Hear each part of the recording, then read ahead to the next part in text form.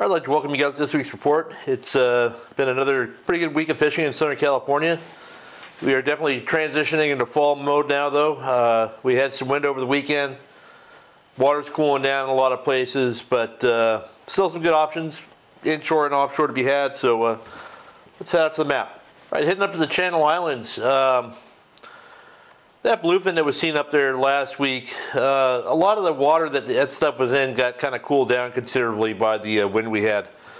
I'm not saying that that fish isn't up there anymore, but based on what I'm seeing on the uh, temp chart, I would say that it probably slid back down uh, just like it slid up when the water warmed up up that way. But you know, you might get lucky and head out there and, uh, and run into some stuff. You never know with bluefin. Uh, boats up there are mostly fishing rockfish now. It's a uh, really the time of year to do that. And we've got some decent weather up there. Sunday, Saturday looks a little windy. Uh, Santa Cruz Island will probably be fine both days. You can probably fish Rosa on Sunday if the weather holds up. Um, private boaters anyway. Sport boats, they go out and that stuff anyway. Um, it's getting to be time for, you know, the a lot of the boats are starting to target lingcod. I don't know if they spawn at this time of year or what, but it's a, it's a good time of year to target lingcod. And the uh, the sport boats up that way have been uh, have already been running some trips and getting some nice ones. But there's some some of the boats I know the Aloha Spirit and some of the other boats have like lingcod special type trips booked. Those are a lot of fun if you want to head up and do that. And uh, good chance for private boaters to uh, go up and catch some lings as well. I'm hoping to have a weather window during the week here and make a drive up to Santa Barbara and either run to Rosa, Miguel, or up towards uh, Conception and try those out. At the end of this video, I'm going to be sharing a, a, a lure rigging uh, thing that I like for lings and also wintertime sand bass. So uh, stay tuned to the end to, to, check out what's going on with that. Um, heading down, really not a lot of coverage. Uh, Nick, SBI, that area up there. Um, I'm sure it's good rock fishing. You definitely still have a chance at yellowtail. I know there's squid around at different islands now, and even on the coast, I think. So I think you got a chance, you know, getting some squid and catching yellowtail with it. I know that Nacho's barge in Long Beach has squid now and then. Uh, you'd probably want to call ahead and check. But you take squid to any of these islands, you probably have a good chance of catching a yellowtail. If you go to a place like Clemente or Catalina, you can probably catch them on sardines as well. I know that the uh, freelance had like 40 yellows at Catalina the other day. Um, that was, uh, I think, over the weekend or maybe on Friday. Um, but uh, yeah, you know, nobody's really been. Uh, the guys that are fishing tuna offshore, and it's been too rough for the bass guys to go over there, and I really haven't heard a whole lot. I noticed still a little bit of yellowfin on the front of the island, um, and that bluefin's out behind it. We'll talk about that more later. Uh, inside of Catalina, like I said, the freelance had those yellows. There's yellows to be caught, but you're mostly going to catch bonita, bass, and rockfish this time of year. Uh, the water temperatures still look pretty good at cat, so there's no reason you couldn't catch yellowtail, but I don't, it's not really a prime time of year to go there and catch one. Um, if I were going, I'd look at the uh, at the Farnsworth Bank. I've had some good fall fishing out there in the past. I don't know if anybody's been out there or what they've caught out there, but uh, this time of year you get good yo-yo fishing out there. But if you do fish in that area, you can only keep uh, yellowtail and bonita. Everything else needs to go back that's in a, a, marine closure in there, so you can't keep bass or rockfish or anything. Um, yeah, you know, all weekend the weather will be good for on the, you know, the fish cat. Shouldn't be an issue either day for private boaters. Um, on the coast, really not a lot of coverage either. I know the sport boats that are uh, fishing are fishing rockfish mostly. Seeing some real, real nice chilies and stuff like that being caught on a victory, which uh, makes me want to go catch chilies, except you have to use bait to catch them. I don't really want to do that. Um, they are a great eating fish, though. Uh, I know Benny Florentino fished the coast the other day, and he had some calicos and nice sand bass for his charter. Um, boats at Dana Point are still getting some sand bass and calicos, and uh, the, the uh, boats in San Diego, I really haven't heard from. I think they're catching calicos, but they might just be fishing rockfish as well. Um, I'll probably head up to PV again this uh, tomorrow, Thursday. I'm hoping that big swell that we had uh, earlier this week on Monday didn't wipe the whole area out, but we'll have to wait and see. Um, yeah, just kind of steady, not too exciting fall fishing overall up this way. Um, heading offshore, the uh, that area with the bluefin between, you know, with the east end of Clemente and Tanner and Cortez is still, that water held up really well through the, uh, through that wind we've had. And uh, although it's gonna be kind of windy out there this weekend, it's not gonna be too windy for sport boats. And uh, some of the four pack boats that head out and risk it are probably gonna go out there and load up as well. But a lot of really big bluefin being caught out there, fish over 300 pounds coming in. It's, it's not wide open. Um, but you have you know a good shot, and I mean it's your best bet right now to catch a big tuna to head out that way. Um, there's been some tuna seen and caught uh, inside as well. Um, I know in the Clemente Ridge there was fish earlier, and uh, I heard yesterday there was fish just you know outside of uh, Dana Point, uh, one of the local banks down there up foaming around. I guess uh, my friend Jonathan said one of the whale watch boats found that stuff. I don't know exactly where it was, but somewhere out of Dana. Um, that fish probably isn't even there now. The stuff moves around a lot, but it just shows you to keep your eye open if you're running around anywhere, uh, especially in the afternoon or on a slack tide late in the morning. That stuff could pop up. You know, if I'm running and you know, say I'm running to Clemente or Cat or anything like that this time of year,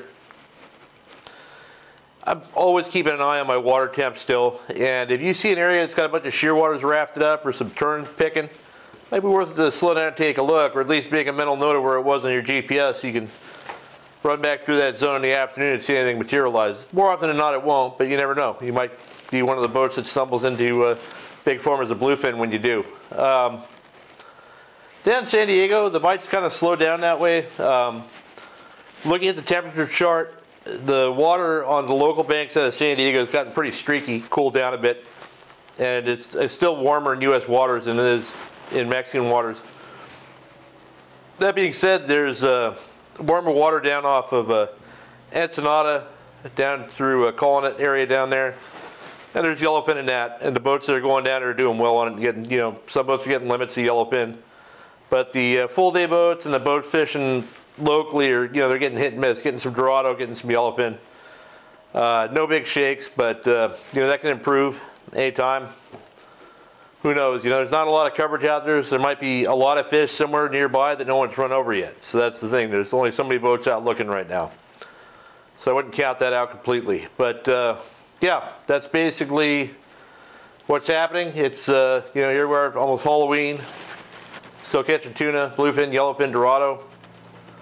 Can't complain about that. Um, so I'm to go back to the workshop here and show you the bait I was talking about. All right, I understand that me showing you this bait like this is not going to be very indicative of what I'm doing rigging wise here, so I'm going to put up a picture of this bait uh, after I do the video. What I've done is I've taken a, a, three ounce lead head and I've cut the hook shank off, or the, the whole bend of the hook and everything else, so I just have a, a straight shank of the hook coming out, and I've, uh, using silver solder, drilled a hole and I put a owner, no, it's a, a Trokar uh, spring lock that you can buy. It's uh, I'll write it down. I think I don't remember what they're called. Um, it's like what you would use on a weedless swim bait by Trokar. and I've embedded that in there, and I've added a split ring with a solid ring and an assist hook. This is a double assist hook. Sometimes I use a single. These are just some that I had left over from Taddy gave me. What this allows you to do is that you can screw your bait into this lead head now and you have a bait that doesn't get pulled down with hooks that don't get levered out of the fish's mouth. And one of the worst parts about fishing rockfish, especially, this is a, a great lingcod bait or big sand bass bait, 8 inch uh, MC slug on a 3 ounce lead head. You drop down 300 feet with this bait and you get a bite, you miss it and it pulls the pants down so it's backed off the thing. You're completely wasted that cast or that drop. You have to wind all the way up. With this, they can't pull it off. That's the nice thing. The other nice thing with this is that a lot of your bites on this lure come on a sink. Bait's falling like this. Let me grab a standard uh, lead head real quick here. So if you have a lure on this lead head and it's falling this way and the bass eats it or a rockfish eats it like that, and you set the hook, that hook is pointing in the wrong direction.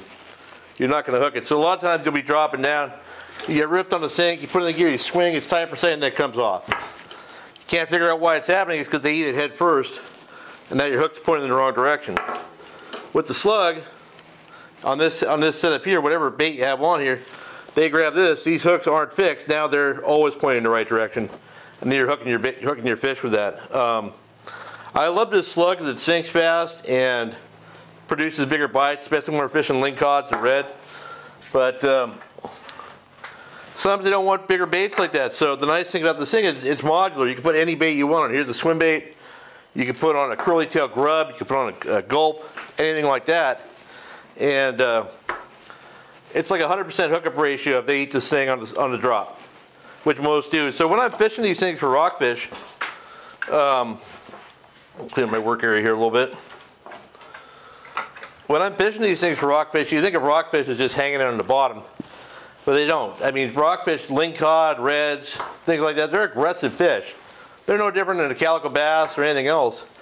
They are aggressively feeding on stuff and they're coming up off the bottom and chasing bait fish around. It's not like all the bait fish on the uh, in rockfish land lay on the bottom, like a, a strip of squid. Now they're eating the same stuff that shallower fish are eating. So they're used to chasing down bait. So I'll drop this lure down on a slack line, let it hit the bottom, pop it once or twice, big pop the rock. They'll wind up five, ten cranks really fast and throw it back at free spool. And you'd be amazed at how often after that five, ten cranks, the minute you put it in free spool, that fish is on it. It could be a red, it could be a ling. I've had, you know, fish follow this thing up. So let's say, you know, you have a, a, a reel that gets uh, 36 inches of line per crank and you do 10 cranks, you brought that bait up 30 feet off the bottom and you kick it in free spool and you're immediately bit. Shows you that these rockfish are pretty aggressive and they'll go for that. And when they bite like that way, it's always a head strike they try and take it like that. So having this hook configuration gets them hooked. If you're just dragging your bait along the bottom, this is a lot of guys do. They drop down like, okay, just dragging along. The fish grab it by here. They're nowhere near a hook, even on a whatever lead head. So if you move your bait fast and aggressively, the fish will bite it fast and aggressively. They won't just grab on and pull your pants down or come off when you swing because they didn't get the hook. Rockfish are not lazy. They just look weird when they come up because they live deep. So don't treat them as a lazy fish. Treat them as an aggressive apex predator and you can uh, have a lot of fun targeting them. So that's about it for this week, guys. Uh, like I said a couple weeks ago, if you have any ideas you want covered, let me know. Happy to cover it. And uh, I'm working on covering some of the stuff that you guys already asked for, and I appreciate you watching. I hope you have a great weekend.